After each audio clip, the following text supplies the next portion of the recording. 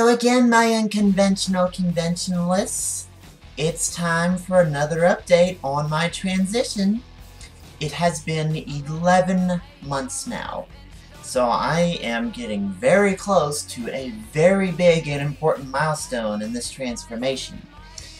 But uh, seeing how that milestone I plan on being more of like a reflection on the past year, I decided that for this video, 11 months, I will go ahead and show you my boobs. Because, you know, the last time I did that was like 4 months, and they've come a long way, so here you go.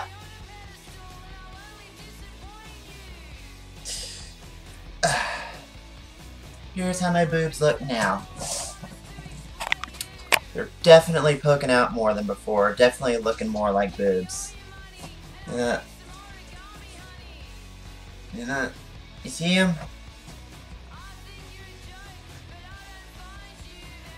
Right there. That's a good shot. Check that out. Yeah.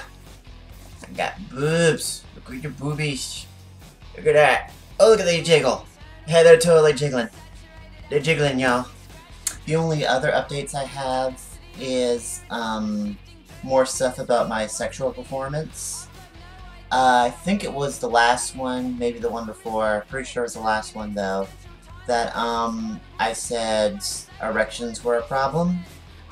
They're not again. So I think I think what happens is every increase I have, like increase in my medication, that kind of like resets. It kind of confuses my body again, and doesn't know what to do with it. And then once it gets used to it, then my sexual performance returns. And uh, also, in the last video, I mentioned ejaculation and how I ejaculate a lot less than I used to. Well, now I pretty much don't ejaculate at all. Like, I experience the orgasm, but seriously, nothing comes out. So, uh, if any of you out there were hoping to bear my children, sorry, you kind of missed the chance. So, yeah, I mean, we'll, we'll see where it goes from there, but, um, I think as a trans woman, it's going to be a hell of a lot harder to produce any children in the future. But I mean, that's that's not something I'm going to worry about right now anyway.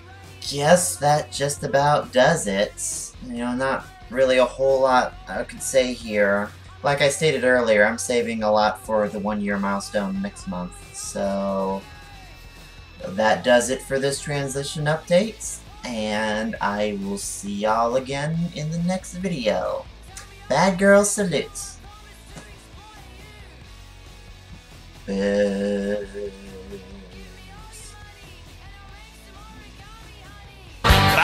to the bone, bad to the bone, bad